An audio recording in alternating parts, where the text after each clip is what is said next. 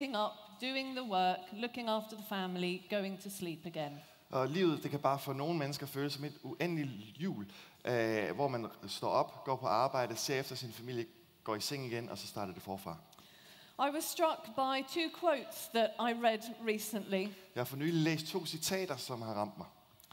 This one is from a, a taxi driver from New York, and I think it provides a bit of a soundbite of despair. Den her det er der fra en taxichauffør i New York, og det viser os lidt af fortvivlelsens lyd i vores samfund. He said, We're here to die, just live and die. Han sagde, vi er her for at dø, bare leve og dø. I live driving a cab, Jeg er taxichauffør, I do some fishing, jeg fisker en gang imellem, take my girls jeg out, tager mine døtre ud, pay taxes, betaler min skat, do a little jeg reading, læser en lille smule, and then get ready to drop dead. og så er jeg klar til at falde død om. Life is a big fake. Livet er bedrag. You're rich or you're poor. Man er rig eller fattig. You're here, you're gone. Man er her, og så er man væk. You're like the wind. Man er ligesom vinden. And after you've gone, other people will come. Og efter man er forsvundet, jamen, så er der andre, der vil komme. It's too late to make it any better. Det er for sent at gøre det bedre. Everyone's fed up. Alle er trætte af det hele. Can't believe in nothing no more. Der er ikke noget at tro på længere. People have no pride. People have no fear. Folk har ingen stolthed, folk har ingen frygt. People only care about one thing, and that's money. Der er kun én ting, folk de bekymrer sig omkring, og det er penge. We're going to destroy ourselves. Vi vil ødelægge os selv. Nothing we can do Der er about ikke noget, vi it. kan gøre ved det. The only thing for the world's illness is nuclear war. Det eneste, der kan helbrede verdens sygdom, det er atomar krig. Wipe everything out and start over. Lad os slette alt og starte forfra igen. We've become like a concerned animal fighting for survival. Vi er ligesom et frustreret dyr, der kæmper for at overleve. Life is nothing. Livet er intet. And then a second quote from a chap called Stephen Gould, who's an evolutionary biologist. Og så et andet citat fra en fyr, der hedder Stephen Gold, som er evolutionær biolog. And he said, We're here because one odd group of fish had a peculiar fin anatomy that could transform its legs for terrestrial creatures. Vi er her, fordi der var en mærkelig gruppe fisk, som havde en eller anden underlig øh, finde, øh, anatomi, som på en eller anden mystisk måde kunne øh, forandre sig og transformeres ind til ben, så man kunne gå på jorden. Because the Earth never froze entirely during an ice age, Fordi jorden den aldrig frøs helt under øh, istiden. Because a small and tenuous species arising in Africa a quarter of a million years ago Og fordi en stadig udholdende og lille øh, art, den opvokset i Afrika en kvart million år siden. has managed so far to survive by hook and by crook. Og de har lige klaret at overleve sådan med fingerneglene, yderste neglene. We may yearn for a higher answer, but none exists. Og derfor så har vi lyst til, at der skal være et større svar, men der findes intet svar. Those are pretty bleak statements, aren't they? Det er meget udsigtsløse øh, udsagn her. From one of the biggest brains in academia to a taxi driver on the streets of New York. Fra en af de klogeste akademiske tænkere til en taxachauffør i New York. Really, both saying the same thing. What Ja, is the point? De siger begge to sådan cirka det samme. Hvad er meningen? I'm like Sisyphus. I go up the hill, I come down, I go up the hill, Ja. I come down. Jeg er som Sisyphus, jeg kommer op ad bakken, jeg kommer ned igen. Jeg kommer op ad bakken, jeg kommer ned igen. And do we have anything to say to this? Og der er noget, vi kan sige til det? Well, I believe that we do. Ja, det tror jeg faktisk, vi har. And I believe the fact that we are created and loved gives us something to speak into this picture of meaninglessness. Og jeg tror, at det faktum, at vi er skabt og elskede, det giver os noget at tale ind i den her meningsløshed med. And we're going to be looking at a particular story from Jesus' life in a moment. Og om et øjeblik, der skal vi se på en særlig historie fra Jesu liv. And for me, it provides a wonderful picture of what it means to be created and loved. Og for mig så giver det et fantastisk billede af, hvad det vil sige at være skabt og elsket. But I want you to imagine something first. Jeg vil gerne have først lige forestille jer noget. Those of you who've been here for the week will know that for the first three evenings, we had a chap called Carl Martin who was speaking. Dem af jer, der har været her hele ugen, ved, at de første tre aftener, der havde vi en fyr fra England, Karl Martin, der var hovedtaleren. And I want you to imagine that first evening when you come to hear him speak. Jeg vil gerne have, I forestiller jer, eller tænker tilbage på den første aften, hvor I kom for at høre ham tale. You've heard that he's a good speaker and you're looking forward to hearing what he's going to say. I hørt, at han er en, en god formidler, og I ser frem til at høre, hvad han har at sige. You're a little suspicious. He is from the UK, after all. I er en lille smule mistænksom, fordi han er jo trods alt fra udlandet. Maybe he's not quite what, uh, what you think he should be. Og måske vil han ikke leve op til alle jeres forventninger. The tent is full of people, with lots of people eager to hear him speak, but other people hanging around at the back. Og teltet det er fyldt af mennesker, der er forventningsfulde på at høre, hvad han har at sige. Og så er der andre, der sådan vandrer rundt øh, bag teltet. Some people are lurking just outside the tent having a cigarette. Der er nogen, der står og hænger lige udenfor og står og ryger.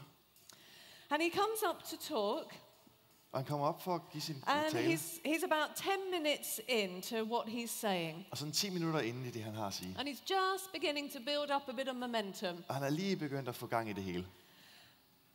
And then a woman walks in, walks all the way up here, and comes up onto the stage. Så er der en kvinde, der kommer ind ned bagfra, hun går hele vejen op, og hun kommer op foran op på scenen. The leaders who are leading this meeting look rather worried. Og lederne, der har mødelederne for mødet, de ser ret skræmte ud. A look of panic goes over their faces. Man kan se panikken i deres øjne. Because this woman does not look like the kind of woman who ought to be standing up on the stage with Carl. For den her kvinde, hun ser ikke ud som en kvinde, som du har lyst til at skal stå op sammen med Karl på scenen. She's wearing a very low cut, tight fitting top. Hun har en nedringet, stram øh, bluse på. She's got a skirt that's way too short. Hun har en, kjole, en nederdel på, der er alt for kort. She's wearing stilettos. Stilethæle. She's covered in makeup. Hun har alt for meget makeup på. And she totters slightly as she walks. Og hun slinger en lille smule, mens hun går. She's probably had a little bit too much to drink. Hun har måske fået lidt for meget at drikke. She looks, if we're honest, like the kind of woman who might stand out on the street corners. Og helt ærligt, så ligner hun en af de kvinder, der måske kunne stå ude på gadehjørnerne. And she goes straight up to Carl and she throws her arms around him. Og hun går lige op til Karl, og hun kaster armen om, om ham. And she brings his head down into her Og hun breast. trækker hans hoved ned i hendes bryster. And because he's got his microphone on, you hear her mumble, I'll always be yours. Og fordi han har mikrofonen på, så kan I høre, hun mumler, jeg vil altid være din. And she strokes his face. Og hun kærtegner hans ansigt. And as she does that on the screen, you realize you can see tears streaming down her face. Og I kan se hende på skærmen, og derfor kan I se, at hun har tårer i øjnene, der løber ned ad kinderne. All her makeup is running and making a mess. Og alt make-up er ud over det hele. What on earth is going on? Hvad i alverden er det, der foregår? How embarrassing for Carl, for the speaker. Hvor pinligt er det ikke lige for, for taleren? And what will he do? Hvad vil han gøre? What are the leaders going to do? Hvad vil mødelederne gøre? Well, instead of pushing, him aw- pushing her away, Men i stedet for at skubbe hende væk, he reaches up, Så- puts his arms around her, tager Karl armen omkring hende and draws her og close. trækker hende ind til sig. And you think, with the microphone on, that you hear him say, And you're mine. Og du synes nok, at du kan høre på grund af mikrofonen, at han siger, og du er min. He can't have said that. Det kan han da ikke have sagt. Isn't it obvious what kind of woman she is? Er det ikke tydeligt, hvad for en slags kvinde hun er? He ought to know better, Han surely. burde virkelig vide bedre. Or maybe he knows her. Eller måske kender han hende. Maybe actually, before coming here, he went out into the town one night. Det kan være, at han lige havde en aften i byen, inden han kom her til mødet. Maybe he's one of her customers. Måske kunne han være en af hans kunder. This Carl clearly isn't quite who we thought that he was. Karl er nok ikke ham, vi troede, han var. Something very similar happened to Jesus, Der skete noget meget sammenligneligt det her med Jesus. but not up on a platform like this. It was around a meal table. Men ikke på en scene som den her, men det skete omkring et middagsbord. Let's have a look at that story. Lad os se på den historie sammen. Luke 7. If you've got your Bibles, do turn to that with me. Og I har jeres bibler, så vend gerne, øh, eller åbn på Lukas evangelie kapitel 7. Lukas evangelie kapitel 7 fra 36 og frem. Luke 7, 36 to 50. I'll just read it in Danish. Lukas evangeliet 7, 36-50. En af farisæerne indbød Jesus til at spise hos sig, og han gik ind i farisæerens hus og tog plads ved bordet. Nu var der en kvinde, som levede i synd i den by. Da hun fik at vide, at han sad til bords i farisæerens hus, gik hun derhen med en alabastkrukke fuld af olie, stillede sig grædende bag ved, bag ved hans fødder, og begyndte at væde hans fødder med sine tårer og tørrede dem med sit hår og hun kyssede hans fødder og salvede dem med olien. Da farisæeren, som havde indbudt ham, så det, tænkte han ved sig selv, hvis den mand var en profet, ville han vide, hvad det var for en slags finde, der rører ved ham. At det er en, der lever i synd. Jesus sagde da til ham, Simon, jeg har noget at sige til dig. Han svarede, sig det, mester. En pengeudlåner havde to skyldnere. Den ene skyldte 500 dinar, den anden 50. Da de ikke havde noget at betale med, eftergav han dem begge deres gæld. Hvem af dem vil så elske ham mest? Simon svarede, øh, den der eftergav ham mest, vil jeg tro. Jesus sagde, det har du ret i. Og vendt mod kvinden sagde han til Simon, ser du denne kvinde? Jeg kom ind i dit hus, men du gav mig ikke vand til mine fødder, men hun har vædet mine fødder med sine tårer og tørret dem med sit hår. Du gav mig ikke noget kys, men hun er blevet ved med at kysse mine fødder, siden jeg kom herind. Du salvede ikke mit hoved med salve, men hun har salvet mine fødder med olie. Derfor siger jeg dig, hendes mange sønder er tilgivet, siden hun har elsket meget. Den, der kun for lidt tilgivet, elsker kun lidt. Og han sagde til hende, dine sønder er tilgivet. De andre ved bordet begyndte at tænke ved sig selv, hvem er han, som endda tilgiver sønder? Men han sagde til kvinden, din tro har frelst dig. Gå bort med fred. So Jesus is having a meal at the home of someone called Simon. Så Jesus han spiser hjemme ved en, der hedder Simon. And I want you to try to imagine the scene. Jeg vil gerne have, at I forestiller jer, hvordan det så ud. When you think of a home, you probably think of something that's closed in with doors shut. Når jeg tænker på et hus eller et hjem, så tænker I nok på noget, der er lukket ind med lukkede døre. But this is much more like what would have happened in what's called the Greco-Roman Symposium. Men det her, det minder mere om noget, der vil foregå i det, der hedder det græko-romanske øh, symposie. And it's much more open. Og det er meget mere åbent. It would have been a, a kind of semi-private, semi-public meal. Det var sådan blanding af halvt privat, halvt offentligt måltid. The main people who had been invited, they would be reclining down on sofas. Hovedpersonerne, som var blevet inviteret, de ville ligge på sofaer. So they'd have been lying on their sides with their feet sticking out at the end. Så de ville ligge på deres sider med fødderne stikkende ud over enden. And while the meal was happening, there would have been discussion taking place. Og under måltid ville der være diskussioner. And it's probably it's probable that what what it looks like is that you have three sides. You have a central table, and and the people are reclining around the three sides of the table. Og det er meget sandsynligt, at det har set sådan ud, at der var et tresidet bord, hvor folk de så havde været tilbagelænet ved de tre sider. And then that final side is, is open for people to be able to see what's happening. Eller at man havde ligget ved to sider, og den tredje side den var så åben, så folk kunne se, hvad der var, der skete. So the homes were large and semi-public, Så øh, hjemmene de var store, og de var halvoffentlige. and some of the rooms in these homes would have opened out onto a courtyard. Og der var nogle af de her, der ville være åbne ud, at nogle af værelserne ville åbne ud til en baggård. And visitors could enter this courtyard and could see what was happening during the meal. Og besøgende ville kunne gå ind i gården, og så kunne de se, hvad der skete under måltidet. Sometimes they could contribute by calling things out. Og nogle gange så kunne de også deltage ved at råbe forskellige ting. And while the meal and the discussion was happening, people would often come in off the streets, Og under måltidet og under samtalerne, så ville folk ofte komme ind fra gaden. maybe to, um, to pay their respects to the householder Måske for at vise respekt for husfaderen, or to conduct some sort of business transaction. eller måske for at have noget business. So it has a very different feel to the kind of dinner party that we might have in our homes. Så det er en helt anderledes øh, måltid, end det, som vi har derhjemme.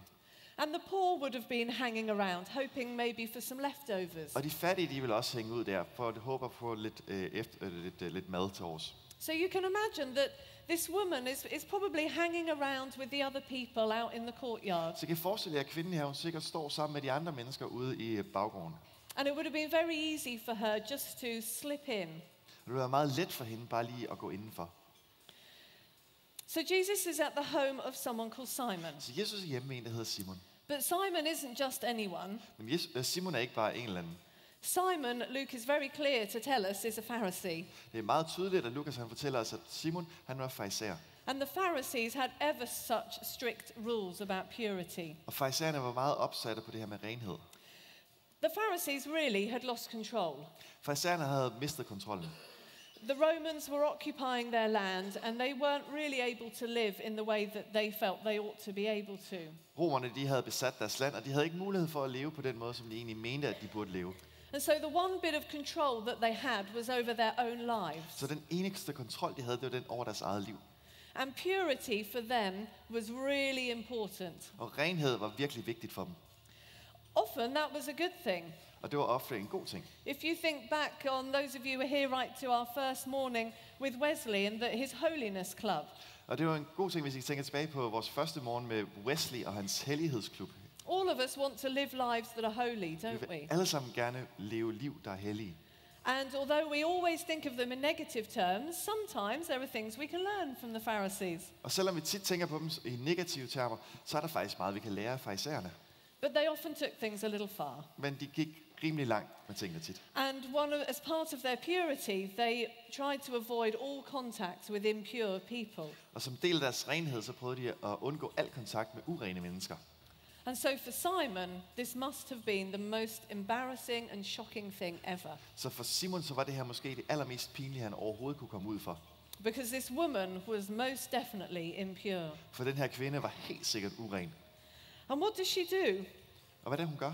She comes in and she lets her hair down. Hun kommer ind, og så lader hun håret This falde is, ned. this is something that women only did in the bedroom. Det gjorde kvinder kun i soveværelset. It would have been almost similar to the, with a woman appearing topless, Det ville være næsten være det samme, som hvis en kvinde kom ind og var topløs. as if she was treating Jesus like a client. Som om Jesus var hendes kunde. But Jesus doesn't stop her. Men Jesus stopper hende ikke. He could have said very politely, "Thank you, dear. I, I know you, you're really, your intentions are really good, but um, could you just move away a little bit?" Han kunne have været meget høflig og sagt, tak søde, men kan du ikke lige, øh, jeg ved godt, at du mener det vel, men kan du ikke lige øh, holde lidt igen? But he doesn't stop her. Men han stopper hende ikke. He sees that what she is doing is not an erotic act; it's a loving act. Han ser, at det hun gør, det er ikke en erotisk handling, men det er en kærlighedshandling. And here, as in so many other places in the Gospels, Jesus turns our assumptions and our expectations upside down. Og ligesom mange andre steder i evangelierne, så vender Jesus vores forventninger øh, og forudindtagethed på hovedet. His response to Simon and the woman is actually really interesting. Hans øh, svar til Simon og til kvinden er faktisk meget interessant. The impact of it is probably lost on us a little bit because we know the story. Og hvor banebrydende det er, det går måske vores næse forbi, fordi vi kender historien så godt. But actually, he's more disgusted by Simon than he is by this woman. Men faktisk så han, tager mere afstand til Simon, end han tager til kvinden. And he doesn't look at her and judge in the way that we might have done. Han føler ikke afsky for kvinden, eller fordømmer hende, ligesom vi ville have gjort. I'd love to know what you would have thought if that woman had actually come in here and come up onto the platform. Jeg ville gerne vide, hvad I faktisk ville have tænkt, hvis den her kvinde var kommet op på scenen. I can tell you, I know what my thoughts Jeg would ved have godt, hvad been. jeg ville have tænkt. But Jesus doesn't look at her and judge. Men Jesus ser ikke på hende og fordømmer. Instead, he sees into her heart and he understands I stedet så ser han ind i hendes hjerte, og han forstår. because he knows where she's coming from. Fordi han ved, hvor hun kommer fra. He knows what's going on in her life. Han ved, hvad der foregår i hendes liv. He understands, however imperfectly, what it is that she's trying to do.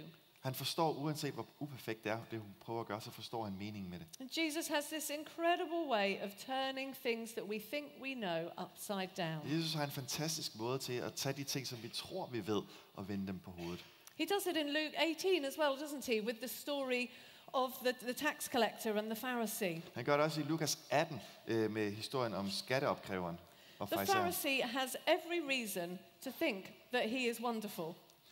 Øh, farisæeren, og det er farisæeren og tolleren, farisæeren har alle øh, muligheder og, og grunde til at tænke, at jeg er da fantastisk. He knows that he's living life as his God wants him to live. Han ved, at han udlever sit liv sådan, som Gud ønsker, han skal leve. And he can stand there and pray and feel very happy with what his life looks like. han kan stå i templet og bede og være rigtig tilfreds med, hvordan hans liv ser ud. And he looks at the tax collector and he knows that he's way better than that tax collector. Han ser ned på tolleren, og ved, jeg er meget bedre end tolleren. He knows that he is walking with the Lord much better than that tax collector is. Han ved, at han går meget bedre sammen med Herren, end ham tolleren han gør. And yet we know that Jesus sees things very differently. Og alligevel så ved vi, at Jesus han ser tingene meget anderledes. And I wonder this morning whether you would identify with the woman or with Simon. Jeg ved denne morgen, om du ville identificere dig med Simon eller med kvinden.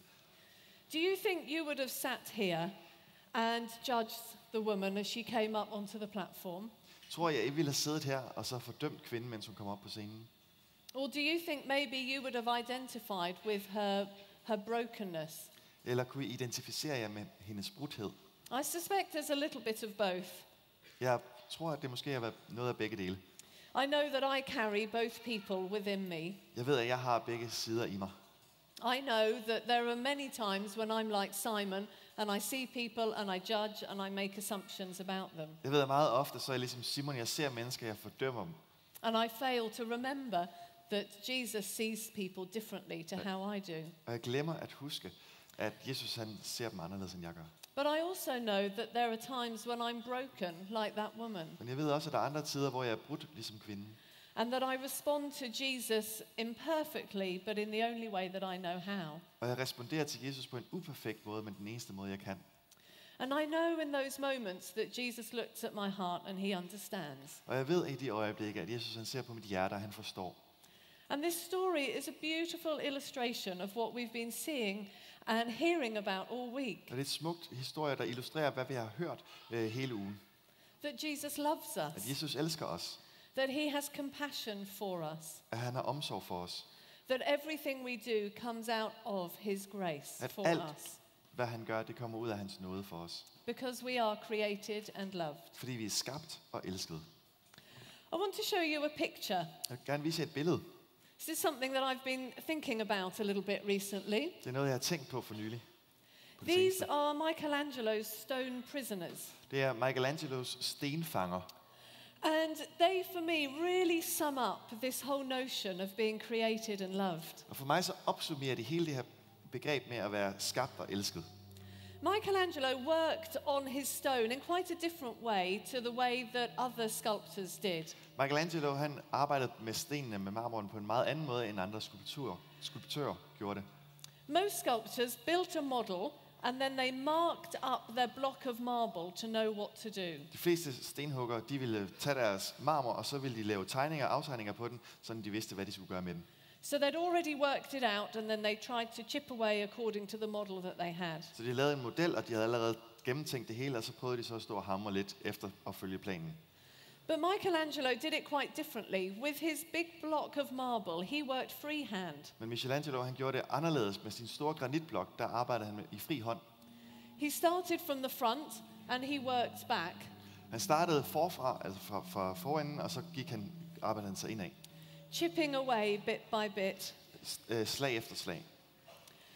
And he described what, what the process that he went through as he created a sculpture. Og han har beskrevet skabelsesprocessen, når han lavede en ny skulptur. And could we have the quote up, up on the screen so that you can her, see it? som I kan læse med på. Yeah, wonderful. In every block of marble, I see a statue as plain as though it stood before me, I hver granitblok, der ser jeg en statue så tydeligt, som om den stod lige foran mig.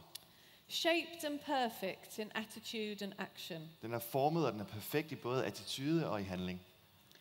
I have only to hew away the rough walls that imprison the lovely apparition to reveal it to the other eyes as mine see it. Det eneste, jeg skal blot fjerne disse rå mure, som holder den, det smukke syn fængslet, sådan at det kan blive åbenbaret også for andre øjne end mine. Can you just say that again all the way through? I et hver granitblok, der ser jeg en statue lige så tydelig, som om den stod lige foran mig. Den er formet, og den er perfekt både i udtryk og i handling.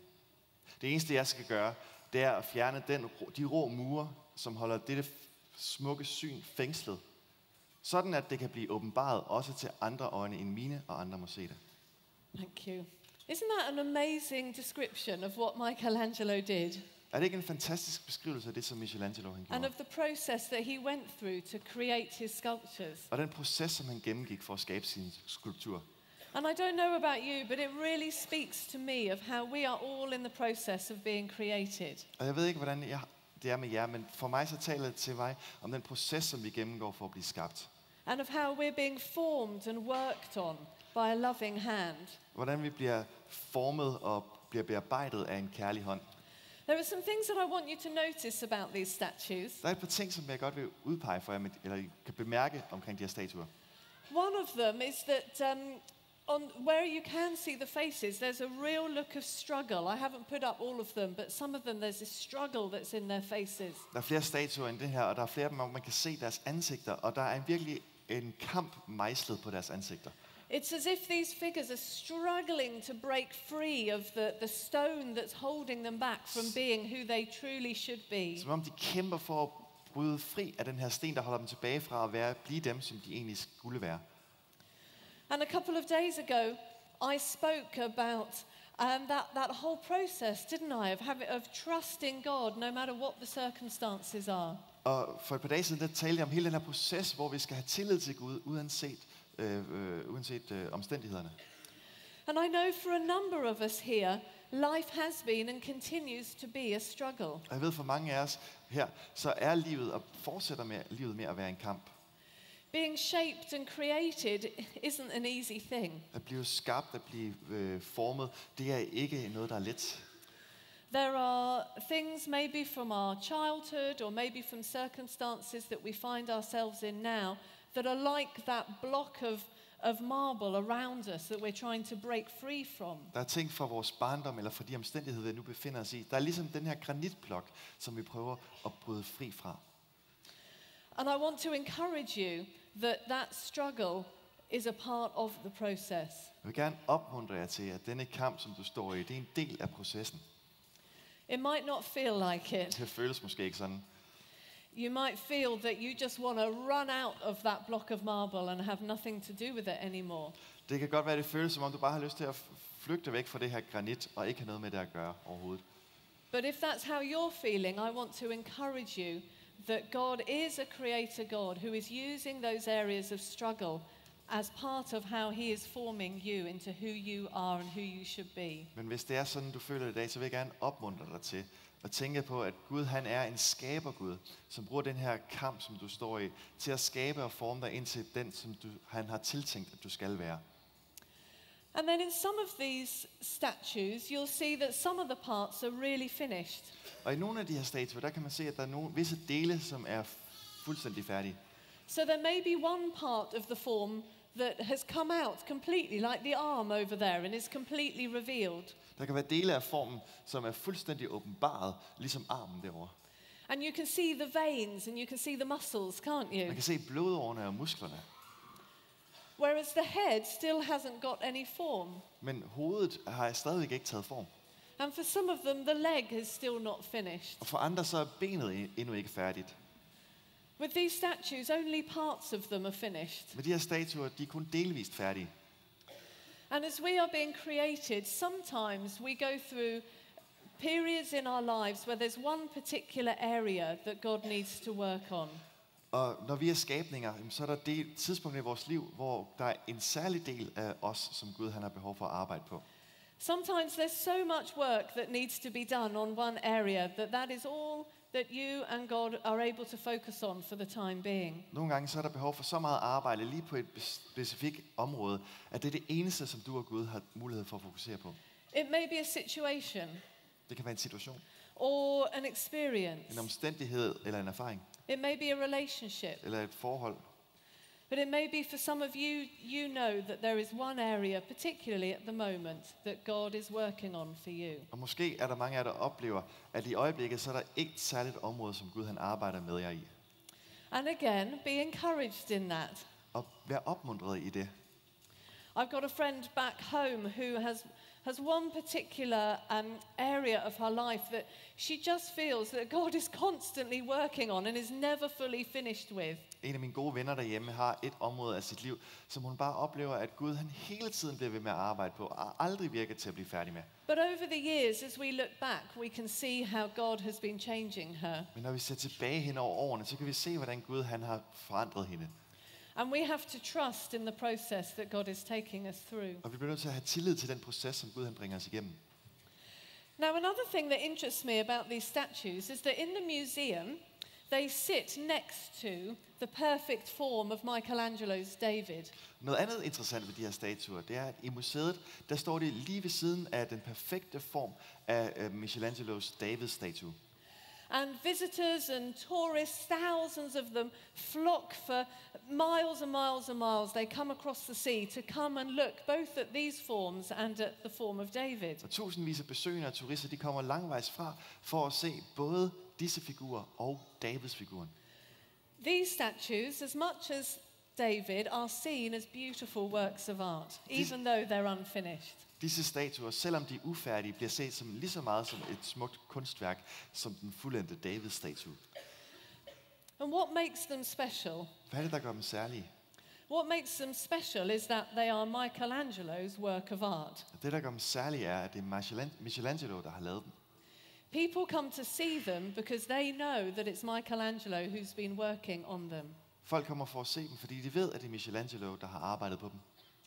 And it's the same with us. Og det samme med os. We are a work in progress. Vi er et, øh, et, et kunstværk, som er stadigvæk ved at blive udformet.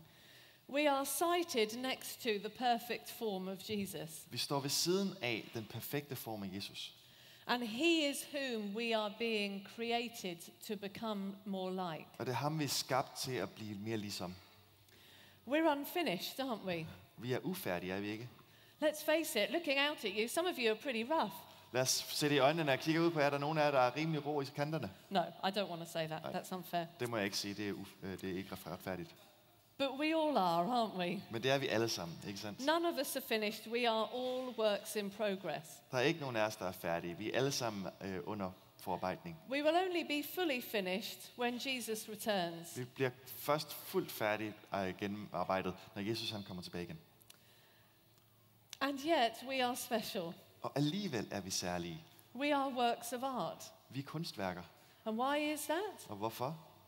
Because we are God's work of art. Fordi vi er Guds kunstværk. We are creatures who are being worked on and formed by a loving creator God. Vi er skabninger, som bliver formet og som bliver bearbejdet af en kærlig Gud. And that means that we are worthy. Og det betyder, at vi er værdige. Whatever it is that we might feel, Uanset hvad du føler, we are worthy because it is God who is working on us. så er vi værdige, fordi det er Gud, der arbejder på os. We are special. Vi er særlige. We are Vi beautiful. er smukke. However we may feel, Uanset hvordan du føler det, we are loved så er du elsket. because we are God's work of art. Fordi vi er Guds kunsthåndsværk. Let's return to the woman of Luke 7. Lad os se igen på kvinden i Lukas kapitel 7. Like all of us, she was a work in progress. Som os alle sammen, så var hun under forarbejdning. We may feel that um, actually we're quite a bit further on than where she was, Måske føler vi, at vi faktisk har bevæget os en del længere, end øh, hun måske var. and maybe that begins to turn us into Simon. Og måske så får det os til at føle os ligesom Simon. We are actually just like that woman. Vi er ligesom den kvinde. We come to Jesus in all of our brokenness, Vi kommer op til Jesus med al vores brudhed. all of our disrepair, Alt det, der ikke kan repareres. all of our disarray. Alt det, der er gået i stykker og er uordentligt. Each one of us, whether we are involved in church leadership or whatever it is we do, we are all like that woman. Hver enkelt af os, uanset om vi er kirkens ledelse eller hvad vi laver, så er vi alle sammen ligesom den kvinde. And when Jesus looks at us, he sees that work in progress. Og når Jesus ser på os, så ser han et værk under forarbejdning. Jesus didn't see where the woman had come from. Jesus han så ikke på, hvor kvinden kom fra. He didn't see where she'd been or what she'd done. Så han så ikke, hvad hun havde gjort eller hvor hun havde været. He saw what she was being created into Han kunne se, hvad hun blev formet og skabt ind til at være. as she came and poured out her love for him. Hvordan hun hældte sin kærlighed, udøste sin kærlighed for ham. I wonder if we could put that quote back up so we can have that in our minds. Lad os lige se citatet igen, så når vi kan huske på det. And as I think about Michelangelo's statues, I ask myself, what am I in the process of becoming? Når, vi tænker, når jeg tænker på Michelangelos statuer, så tænker jeg og spørger mig selv, hvad er det, som jeg er i proces med at blive formet til? Do you see yourself um, as someone who's pretty much finished, just with a little bit of work left, or do you see yourselves as works in progress? Ser du dig selv som en, der er næsten færdig, der mangler lige de sidste detaljer? Eller ser du dig en, som stadigvæk har meget forarbejdning til gode? All through life, that process of formation is never finished, is it? Den her skabelsesproces, den foregår igennem hele livet. We are always learning. Vi lærer altid. There's always more that um, there's always more for Jesus to teach us. Der er altid mere, som Jesus han kan lære os. Always more for Jesus to shape us. Der er altid mere, flere måder, Jesus kan forarbejde os på. And I wonder, how does God see me as He's working on my rough walls? Og hvordan ser Gud mod mig, når han, ser, når han arbejder på de øh, rå vægge? I know I've got a lot of them. Jeg ved, jeg har mange af dem. And I know there's a, a lot of marble still for me to come out of.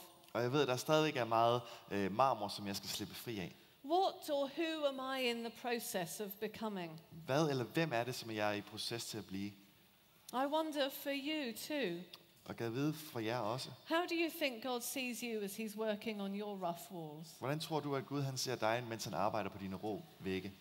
Crucially, if you're like one of those statues with struggle on your face, do you see that God is someone you can trust? Og særligt, hvis du er ligesom en af de her statuer, som har kamp i ansigtet, ser du Gud som en, du kan stole på? Can you trust Him to be working on you with a loving hand? Kan du stole på, at han arbejder på dig med en kærlig hånd? And I love this idea that Jesus has in his mind who we are to become, and life is about chipping away so that he can reveal our loveliness. Og jeg elsker at, øh, den her idé om, at Gud han har en endelig form, som han ønsker, at vi skal blive. Og livet handler om, at slag efter slag efter slag, så bliver marmoren fjernet.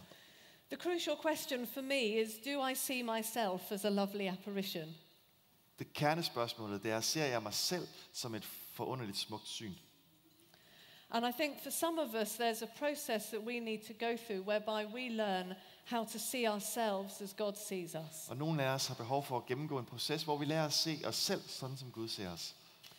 And it's in this whole understanding that we have something that we can offer to the world around us. Og det er i denne forståelse, at vi har noget, vi kan give til den verden, der er omkring os. To people who feel like Sisyphus, endlessly pushing, up a bol- pushing a boulder up a hill only to have it roll back down Folk, der again. føler sig som Sisyfos, der blot skubber en sten op ad en bakke, blot for at den ruller ned igen. Because life isn't about endless meaninglessness. Fordi livet er ikke, handler ikke om meningsløshed. Life is about being transformed into the image of Christ Livet handler om at blive transformeret ind til Jesu billede. and about trusting the Creator's hand as He does that in our lives. Og om at stole på skaberens hånd, mens han bearbejder vores liv. And that's what we commit ourselves to. Og det er det, vi giver os selv ind i. That's what we give ourselves to every day. Det giver vi os selv ind i hver dag. That's what we're here for, to allow ourselves to be created and formed by Christ. Det er derfor, vi også er her, for at tillade, at vi bliver skabt og formet af Kristus. And as that happens, that brings us right back to where we were yesterday morning. Og mens det sker, så tager det også tilbage til der, hvor vi var i går morges. Because we haven't been created to be stone statues that stand in a museum. Fordi vi er ikke blevet skabt til at være stenstatuer, der står i et museum. We haven't been created to stand there looking lovely and feeling loved, Vi er ikke skabt bare til at se godt ud og føle os elsket, as important as that is. selvom det også er vigtigt. Actually, we've been created with a purpose. Vi er skabt med et formål. We've been created to be involved with God and His plans for salvation. Vi er blevet skabt til at være involveret sammen med Gud i hans plan for frelse. And so, yes, let's discover what it means to be created and formed and loved. Så ja, lad os prøve at opdage, hvad det betyder at være skabt, formet og elsket. And as we do that, Og mens vi gør det, let's make sure that that discovery turns us outward into mission. og lad os, så lad os være sikre på, eller sørge for, at denne opdagelsesproces vender os ud af i mission. I need to finish, so let us pray. Lad os bede sammen.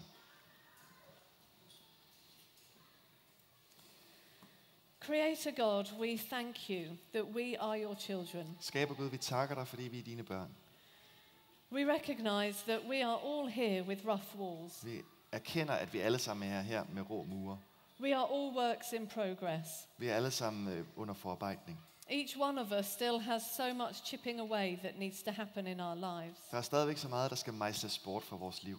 But we thank you, God, that you are a loving creator. Men vi, elsker, vi takker dig, Gud, fordi du er en kærlig skaber.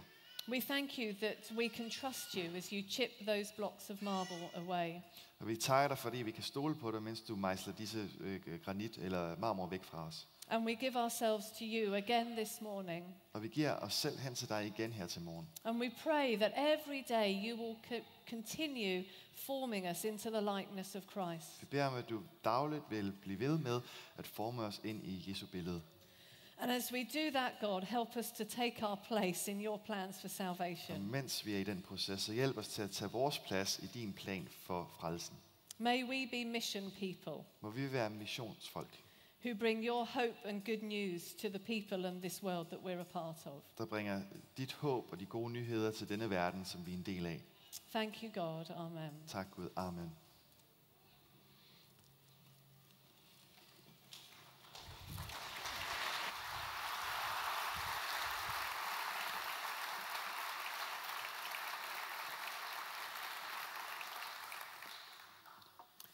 Tak, Murph. Nu kommer 30 vigtige sekunder. Om lidt så øh, bryder informationsflowet løs over os igen. Men nu er der 30 vigtige sekunder, hvor vi vil bede Gud om at mejsle det ind i vores hjerte, som vi ikke må glemme, når informationen lige om lidt bryder løs over os. 30 sekunder.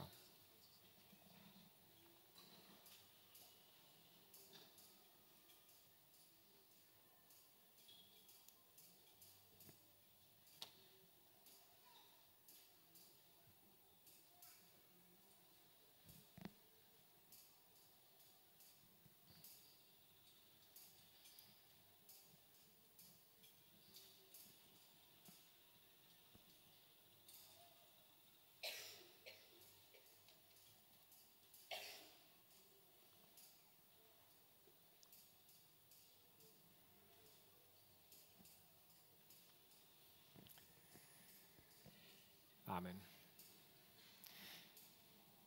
Nu er der lidt informationer. Lidt ekstra i dag, fordi det er besøgsdag. Det første, som jeg vil sige, er, at vi lige op på torvet her har et stort bogudsalg. I dag der hjælper det ikke noget at løbe, hvis man øh, vil have nogle af Ruts bøger. De blev revet væk i går. Der er ingen kassesucceser der tilbage bag disken, vi kan sætte frem. Men man kan købe hendes bøger øh, fra udlandet, for eksempel Amazon Co. UK, og det bliver nogenlunde til samme pris. Øh, det lille overskud, der var til Oase i bogsalget, det går så til postvæsenet, og så kan man jo overveje, hvad man så vil gøre i forhold til dansk Oase, men man kan altså få bøgerne sendt til sig alligevel.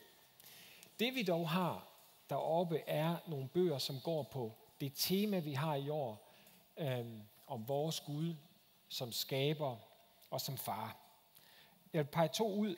Den ene er den her, den smukke Gud, som gennemgår hele treenigheden øh, på små 200 sider, der ikke er for store. Det er en fantastisk bog at læse omkring Gud som, øh, som skaber, som far og som helligånd. Og så vil jeg igen, igen nævne den, jeg læste i går, Chris Wrights Guds Folks Mission, øh, som der får man faktisk hele 337 sider, som er større. Den tager lidt længere tid at læse, men jeg må ærligt sige, at det er den bedste bog, jeg har læst i lange tider. Så hvis man har lyst til at komme ind i den bibelske samtale omkring Gud som skaber, så er det her en rigtig god bog. Så vil jeg også lige pege nogle ting ud af alt det, der kommer til at foregå fra nu af og resten af dagen. Det hele er jo trygt i vores program, som I forhåbentlig har fået. En anden ting, man kan gøre for at få et overblik, det er, at man kan google mobil og så sommeroase, og det første link, der kommer op, eller tryk mobil.sommeroase.dk, en anden mulighed. Så får Google ingen reklamepenge. Um, og der er altså en anden mulighed for at danne sig et overblik. Jeg vil også nævne, hvis man har lyst til at se de andre bibeltimer med Ruth, som um, hun har refereret til her, så ligger det via det link, man kommer ind på der, der, ligger det, der er der et link til noget, der hedder Oase Play, hvor det ligger i arkivet. Og jeg vil blot lige pege et par små ting ud af de mange muligheder, øh, som er for resten af dagen. Det næste, som sker her i det store telt, er, at Simon Alleby underviser i eftermiddag klokken halv to, halv to i eftermiddag med et tema, der har løbet på langs omkring Guds faderhjerte. Han underviser, holder møde for os igen i aften halv otte, så altså halv to og halv otte her i teltet. Så er der seminarer, det er der på to tidspunkter. Det er der også halv to, og så er der det igen halv fire. Og for eksempel kan man halv to øh, dele sig, hvis man kommer her som et par. Så er der noget for et kvindespor, Women's Reboot, og der er noget for mænd, et mandespor. Den sidste ting, jeg vil nævne, er, at der i løbet af i dagen er øh, informationsmøder for nogle ting, man kan tage på efter sommeroase. Klokken 4 er der informationsmøde omkring en lovsangsskole ved navn Kantoriet og en ledertræningsskole ved navn Kaliber.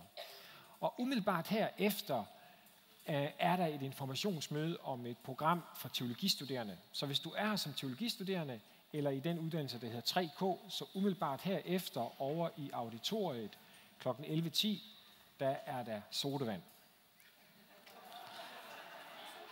Ellers have en rigtig god dag alle sammen.